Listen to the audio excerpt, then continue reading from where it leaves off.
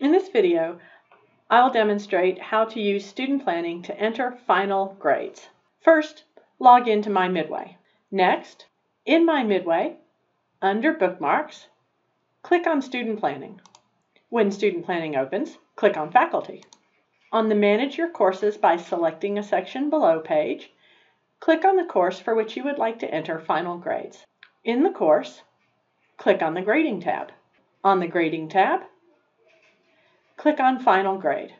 Select the final grade for each of your students, and when necessary, enter a last day of attendance using the format shown in the box. When you are finished, click Post Grades.